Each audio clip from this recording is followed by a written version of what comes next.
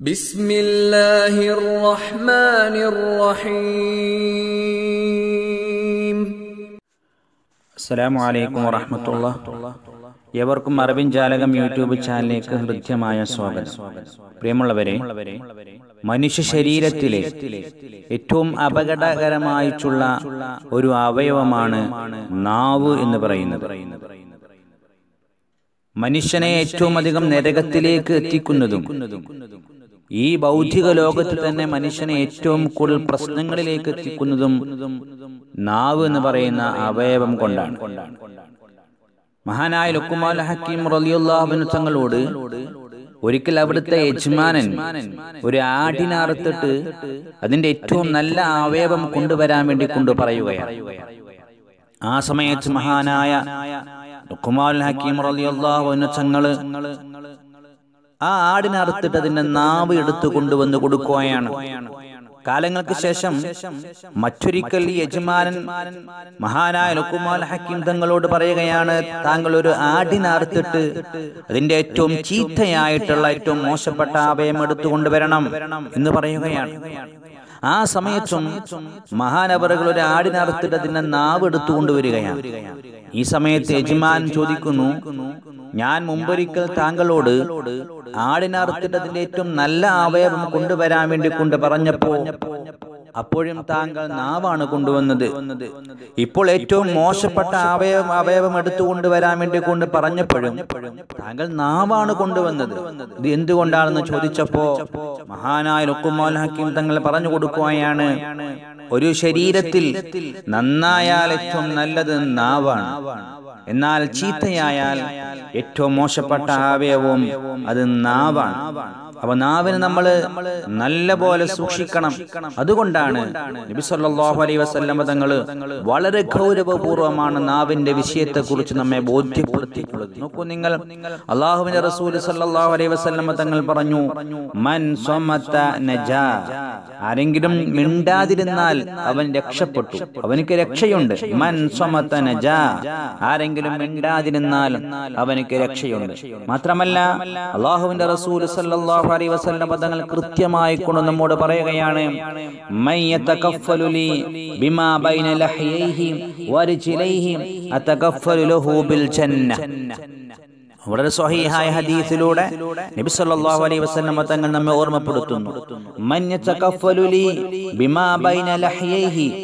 രണ്ടു താടിയല്ലുകൾക്കിടയിലുള്ള ഒരു അവയവത്തിനെ സൂക്ഷിക്കാമെന്ന് ആരെങ്കിലും എനിക്ക് വാക്ക് നൽകി കഴിഞ്ഞാൽ വരി ജിലൈഹി രണ്ടു കാലുകൾക്കിടയിലുള്ള അവയവത്തിനെയും അതുകൊണ്ട് ഉദ്ദേശിക്കുന്നത് നാവിനെയും മനുഷ്യന്റെ നാവിനെയും ഗുഹ്യസ്ഥാനത്തിനെയുമാണ്. ഈ രണ്ട് അവയവങ്ങളെയും ഒരാൾ സൂക്ഷിക്കാം. അതുകൊണ്ട് തെറ്റുകളിലേക്ക് പോകില്ല എന്ന് ഒരാൾ എനിക്ക് വാക്ക് നൽകി കഴിഞ്ഞാൽ ഞാൻ അവനിക്ക് സ്വർഗം കൊണ്ട് ഞാൻ അവനിക്ക് ജാമ്യം നിൽക്കും. സ്വർഗം കൊണ്ട് ഞാൻ അവനിക്ക് ഉറപ്പ് നൽകുന്നു എന്ന് അള്ളാഹുവിന്റെ റസൂൽ തങ്ങൾ നമ്മെ പഠിപ്പിക്കുകയാണ്. നോക്കൂ നിങ്ങൾ മറ്റൊരിക്കൽ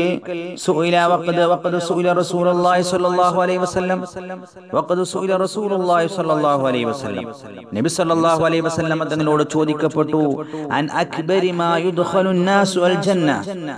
ജനങ്ങൾ അധികവും സ്വർഗത്തിൽ പ്രവേശിക്കുന്നത് എന്തുകൊണ്ടാണ്? എന്ത് കാര്യങ്ങൾ കൊണ്ടാണ് എന്ന് ചോദിക്കപ്പെട്ടു. അപ്പൊ കാല നബി സല്ലല്ലാഹു അലൈഹി വസല്ലം തങ്ങൾ കൊടുക്കുന്ന മറുപടി അള്ളാഹുവിനോടുള്ള സൂക്ഷ്മതയും തക്കുവയും സൽസ്വഭാവവുമാണ്. അധിക മനുഷ്യരെയും സ്വർഗത്തിൽ പ്രവേശിപ്പിക്കുന്ന കാര്യങ്ങൾ. വീണ്ടും വീണ്ടും ചോദിക്കപ്പെട്ടു? മനുഷ്യരെ അധികവും ധാരാളമായിക്കൊണ്ട് നരകത്തിലേക്ക് കടത്തുന്ന കാര്യങ്ങൾ എന്തൊക്കെയാണ്? അപ്പൊ ഫഖാല അപ്പൊ നബി സല്ലല്ലാഹു അലൈഹി വസല്ലം തങ്ങൾ പറഞ്ഞു അൽ അജ്വഫാനി അൽ ഫമു വൽ ഫർജു. അല്ലാഹുവിന്റെ റസൂൽ സല്ലല്ലാഹു അലൈഹി വസല്ലം തങ്ങൾ പറഞ്ഞു കൊടുക്കുകയാണ് നമ്മുടെ ഉൾഭാഗത്തുള്ള നമ്മുടെ അവയവങ്ങൾ വെച്ചുകൊണ്ട് അൽ അജ്വഫാനി ഉള്ളിലുള്ള രണ്ട് അവയവങ്ങളാണ് അൽ ഫമു വൽ ഫർജു അത് അവന്റെ വായയും അവന്റെ ഗുഹ്യസ്ഥാനവുമാണ് എന്നാണ്. അൽ മുറാദ് ബുൽ ഫമി ഈ ഹദീസിനെ വ്യാഖ്യാനിച്ചുകൊണ്ട് മഹാന്മാർ പറയുന്നുണ്ട് അൽ മുറാദ് ബുൽ ഫമി ഇവിടെ വായ കൊണ്ട് എന്നുള്ളത് കൊണ്ട് ഉദ്ദേശിക്കുന്നത് ആഫാത്തുൽ ലിസാൻ നാവിന്റെ ഏ, ദൂഷ്യങ്ങളാണ്. നാവിന്റെ നാശങ്ങളെക്കുറിച്ചാണ് ഇവിടെ ഉദ്ദേശിച്ചത് എന്ന് ഈ ഹദീസിനെ വ്യാഖ്യാനിച്ചുകൊണ്ട് മഹാന്മാരായ പണ്ഡിതന്മാർ രേഖപ്പെടുത്തി വച്ചിട്ടുണ്ട്. അപ്പൊ ഒരു മനുഷ്യനെ അധികവും നരകത്തിലേക്ക് കടത്തുന്നതിൽ മുഖ്യ പങ്ക് വഹിക്കുന്നത് നാവാണ്.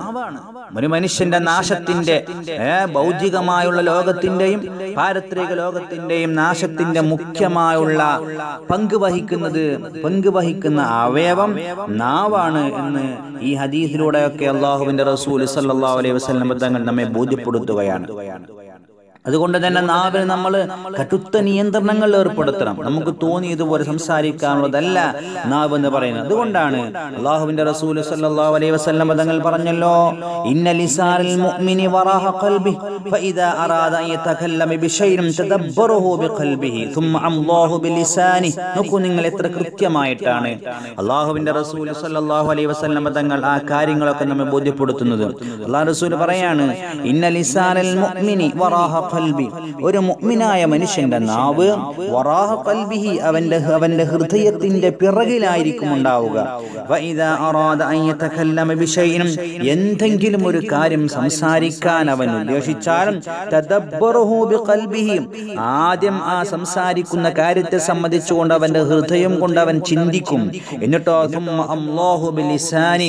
അതിന് ശേഷമാണ് അവൻ നാവ് കൊണ്ട് അതിനെ മൊഴിയുക നാവ് കൊണ്ട് അതിനെ പറയുക. എന്നാൽ അമാമ ഖൽബി. എന്നാൽ ഒരു മുനാഫിഖിന്റെ കപടവിശ്വാസിയുടെ നാവ് അമാമ ഖൽബിഹി അവന്റെ ഹൃദയത്തിന്റെ മുമ്പിലായിരിക്കും മുന്നിലായിരിക്കും. അവൻ എന്തെങ്കിലും ഒരു കാര്യം അങ്ങോട്ട് വിചാരിച്ചാൽ അല്ലാഹു ബിലിസാനി അവൻ അവന്റെ നാവ് കൊണ്ട് അതിനങ്ങോട്ട് പറയും വരം ബിഖൽബി. അവൻ അവന്റെ ഹൃദയം കൊണ്ട് അതിനെ കുറിച്ച് ചിന്തിക്കില്ല എന്ന്. ഇവിടെ വളരെ ചിന്തനീയമായ ഒരു വർത്തമാനമാണ് അള്ളാഹുവിന്റെ റസൂൽ സല്ലല്ലാഹു അലൈഹി വസല്ലം തങ്ങൾ നമ്മെ ബോധ്യപ്പെടുന്നത് ഒരു മുഅ്മിനായ ഒരു സത്യവിശ്വാസിയായ മനുഷ്യന്റെ നാവ് അവന്റെ ഹൃദയത്തിന്റെ പിറകിലായിരിക്കണം. എന്തുകൊണ്ട്? അവൻ ചിന്തിച്ചിട്ടേ സംസാരിക്കാൻ പാടുള്ളൂ. എന്നാൽ അവൻ അപകടങ്ങൾ സംഭവിക്കുകയില്ല. ചിന്തിച്ചതിന് ശേഷമേ ഞാൻ ഈ പറഞ്ഞ അതുകൊണ്ടുണ്ടാവുന്ന ദൂഷ്യഫലങ്ങൾ എന്തൊക്കെയാണ്? അതുകൊണ്ട് എനിക്കുണ്ടാകുന്ന നേട്ടം എന്താണ്? കോട്ടം എന്താണ്? ഇതൊക്കെ ചിന്തിച്ചതിന് ശേഷമാണ് ഒരു ബുദ്ധിമാനായ മനുഷ്യൻ സംസാരിക്കേണ്ടത്. അതാണ് ഇവിടെ പറഞ്ഞത്. ആ, മുഅ്മിനി ഇന്ന ലിസാനൽ മുഅ്മിനി. ഒരു മുഅ്മിനായ ഒരു സത്യവിശ്വാസിയായ മനുഷ്യന്റെ നാവ് അവന്റെ ഹൃദയത്തിന്റെ പിറകിൽ നിൽക്കണം ആദ്യം ചിന്തിക്കണം എന്നിട്ട് സംസാരിക്കണം. അല്ലെങ്കിൽ അവനക്ക് വലിയ അപകടങ്ങളിലേക്ക് ചെന്ന് ചാടാനുള്ള സാധ്യതകളുണ്ട്. അള്ളാഹുവിന്റെ റസൂൽ സല്ലല്ലാഹു അലൈഹി വസല്ലമ തങ്ങൾ പഠിപ്പിക്കുന്നു മൻ കഫ ലിസാനഹു സതറല്ലാഹു ഔറത ആരെങ്കിലും തന്റെ നാവിനെ പിടിച്ചു വെച്ചാൽ നാവിനെ നിയന്ത്രിച്ചു വെച്ചാൽ സതറല്ലാഹു ഔറതഹു അവന്റെ ന്യൂനതകളെ അവന്റെ കുറവുകളെ അവന്റെ പോരായ്മകളെ അള്ളാഹു സുബ്ഹാനഹു വതആല മറച്ചു വെക്കുമെന്ന് പരിശുദ്ധ റസൂലുള്ളാഹി സ്വല്ലല്ലാഹു അലൈഹി വസല്ലം തങ്ങൾ നമ്മെ പഠിപ്പിച്ചിട്ടുണ്ട്.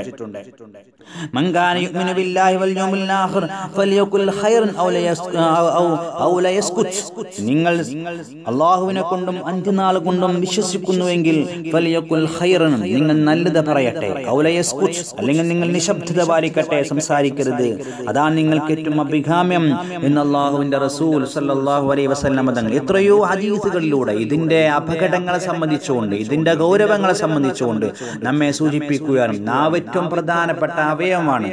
നമ്മുടെ സർവനാശത്തിലേക്കും അത് നമുക്ക് കൊണ്ടെത്തിക്കും. നമ്മളതിനെ സൂക്ഷിച്ചിട്ടില്ലെങ്കിൽ നമ്മളതിനെ നിയന്ത്രിച്ചിട്ടില്ലെങ്കിൽ നമ്മുടെ സർവനാശത്തിന്റെയും നിധാനമായ മാനദണ്ഡമായി അതിന്റെ കേന്ദ്രമായും നാവ് നിലകൊള്ളും. അതുകൊണ്ട് നല്ല സൂക്ഷ്മതയും ജാഗ്രതയും അനിവാര്യമാണ്. അള്ളാഹുവിന്റെ റസൂൽ സല്ലല്ലാഹു അലൈഹി വസല്ലം തങ്ങൾ പറയുന്നു മൻ കസുറ കലാമഹു കസുറ സഖ്തഹു. ഒരാ- ഒരാൾ സംസാരം വർദ്ധിപ്പിച്ചാൽ കസുറ സഖ്തഹു അവന്റെ ന്യൂനതകൾ അവനുള്ള കുറവുകൾ അവനുള്ള പാകപ്പിഴവുകൾ വർദ്ധിക്കും. വമൻ കസുറ സഖ്തഹു ഒരാളുടെ പാകപ്പിഴവുകൾ വർദ്ധിച്ചാലോ കസുറ ദുനൂബഹു അവന്റെ ദോഷങ്ങൾ വർദ്ധിക്കും. അവൻ കസുറത്തു ദുനൂബഹു ഒരാളുടെ ദോഷങ്ങൾ വർദ്ധിച്ചാലോ കാനച്ചു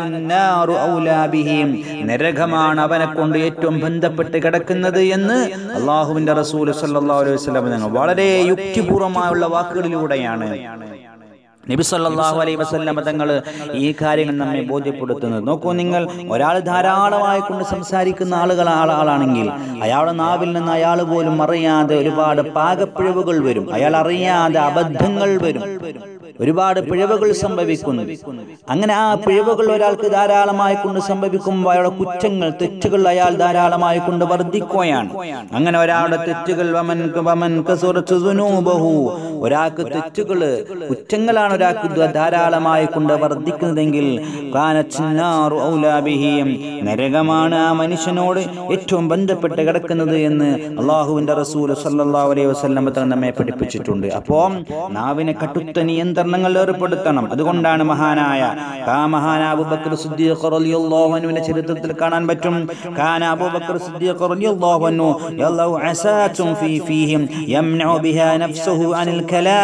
മഹാനായ അബൂബക്കർ സ്വഹാബികൾ ഏറ്റവും പ്രധാനപ്പെട്ട വലിയ മഹാനാണ് മഹാനായ അബൂബക്കർ ആ അബൂബക്കർ